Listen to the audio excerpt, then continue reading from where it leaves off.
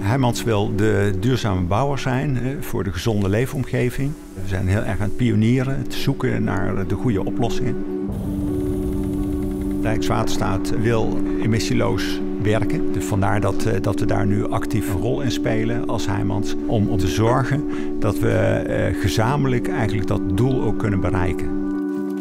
Met z'n allen gaan we dus halen dat we circulair zijn. Dus al onze grondstoffen, energie en water zoveel mogelijk op locatie hergebruiken. Dat we geen emissies meer uitstoten. Dat we klimaatadaptief zijn, digitaal slim. En dat vooral dus hebben gedaan in een stad die veel verder verdicht. Nou, dat is eigenlijk die grote uitdaging waar we met elkaar voor staan. Hermans heeft een eh, doel geformuleerd dat wij in 2023 CO2-neutraal willen zijn. En daar is het EMP, het Energiemanagementplan, uh, opgeschreven. En daarin staan verschillende doelstellingen uh, uitgewerkt.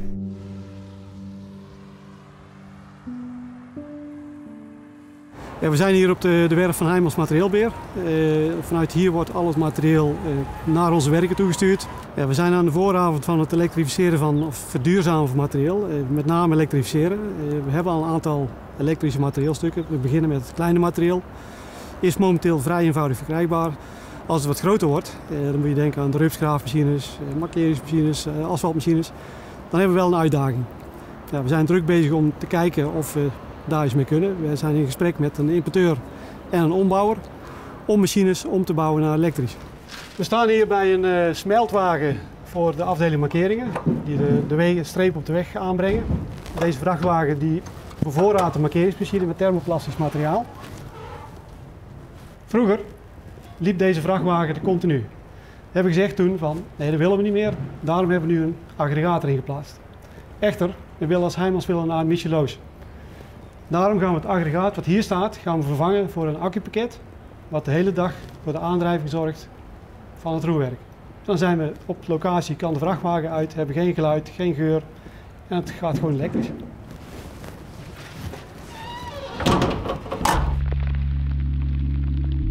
Nou, hier staan we bovenop het uh, asfalt, oud asfalt, wat we gezeefd hebben van materialen die vrijkomen van de weg. Die machines, die, uh, daarmee kunnen we het asfalt uh, breken. Die zijn uh, elektrisch uitgevoerd, ook in het kader van de transitie die we doen. En dan krijgen we verschillende fracties. En die fracties die worden dan weer gezeefd door de machine die erachter staat. En door deze machines te gebruiken en in te zetten, zijn we in staat nu om 60% van oud asfalt weer te gebruiken in nieuw asfalt.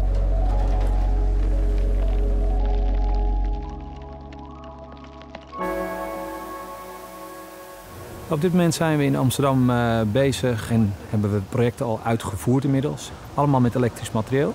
Waarbij we ook naar de projecten toe gingen, uh, of op de fiets of met een scooter en zelfs met een uh, elektrische stadsauto's. Onze vakmannen buiten rijden hier ook in elektrische kangoes, van die bestelautootjes. Ja, en zo proberen wij maximaal bij te dragen aan minder uitstoot in de stad bij deze samenwerkingsovereenkomst.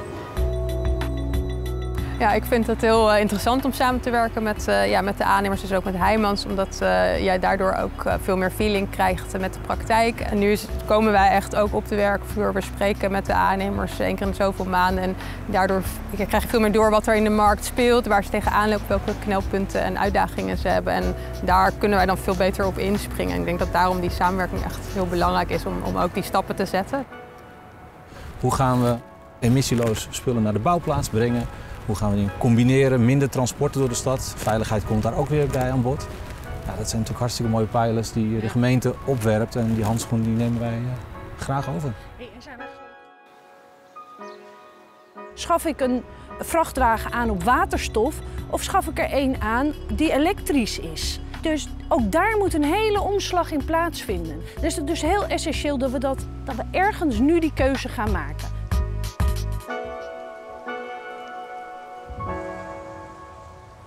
We willen komend jaar al de eerste elektrische machines, grote machines, willen we uh, gaan gebruiken zodat we onze werken steeds meer emissieloos kunnen maken. Dat is ook de wens van onze opdrachtgevers.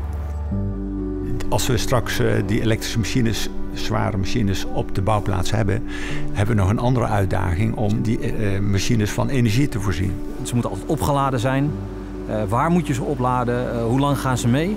Dus dat vergt gewoon wat andere planningscapaciteiten van de uitvoering en de mensen buiten. We staan echt nog aan de, aan de wieg van die ontwikkeling, van die hele transitie naar elektrisch aangedreven materieel. En, en we zijn ook als Nederland eigenlijk een van de koplopers in de wereld die de vraag stelt om elektrisch materieel te, te hebben en te gebruiken.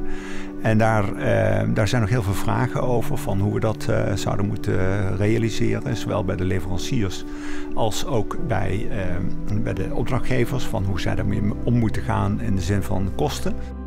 En dat kunnen wij als bedrijven niet alleen dragen. Dus dat moeten we ook in gezamenlijkheid doen. Nou, voordat we dat hele treintje hebben omgekeerd, betekent dat we nu moeten gaan beslissen. En dat is een dialoog tussen ons beiden. Wij werken eraan en we werken er ook heel graag aan samen met Heijmans.